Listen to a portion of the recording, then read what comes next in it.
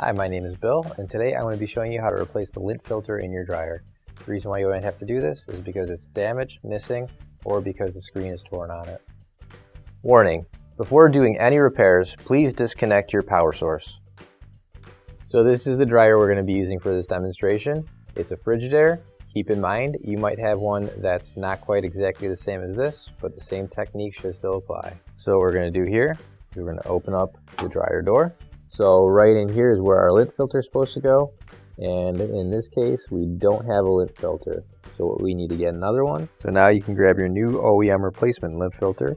And if you don't have one already, you can find one on our online store. So when we put the lint filter in, the part that says clean before each load is going to be facing so that we can read it, just like this. And since we have it orientated the right way, it should slide straight down and the lint filter just sits in there like that, doesn't snap in or anything. Then you can close your door and your repair is complete. Finally, don't forget to plug in your appliance.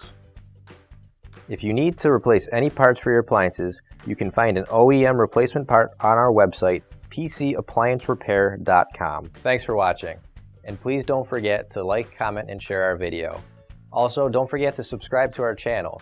Your support helps us make more videos just like these for you to watch for free.